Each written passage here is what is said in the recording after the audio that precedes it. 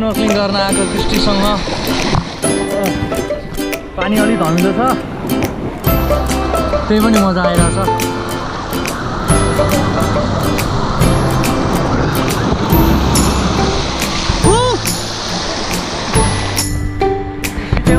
छेउतिर छ। कता हो?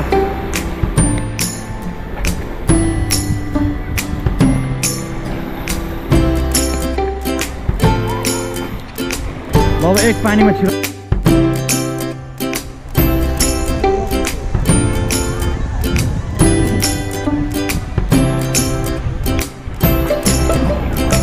हालाइरहेछ रेडी